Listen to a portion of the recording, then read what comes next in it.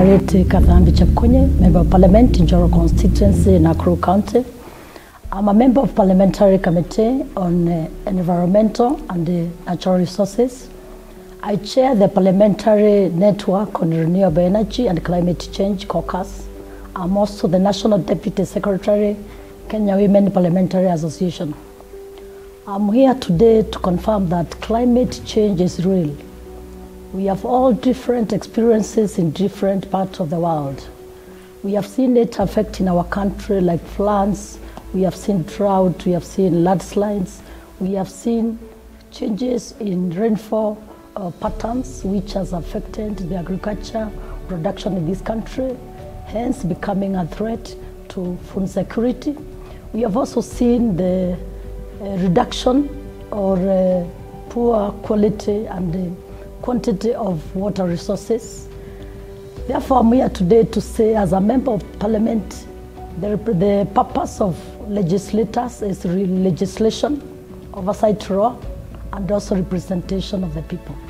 And I see it here is just a reminder to each and everyone for us to combat the matters of climate change which has affected the world and especially the developing countries like Kenya. We have to take an action. We need partnership. We need serious capacity building. And because legislators are the people who are the representatives of people, the capacity building must be taken seriously so that even in nations like Kenya, we can have platforms where the members of parliament get information on even the national uh, determined contributions which Kenya actually has uh, uh, accepted to be part of it, even with the uh, Paris Agreement, whereby it is now a global uh, position for majority of the countries that uh, we are going to take an action so that we can combat the matters of uh, climate change in the world and in the country. Let us, all of us, take an action.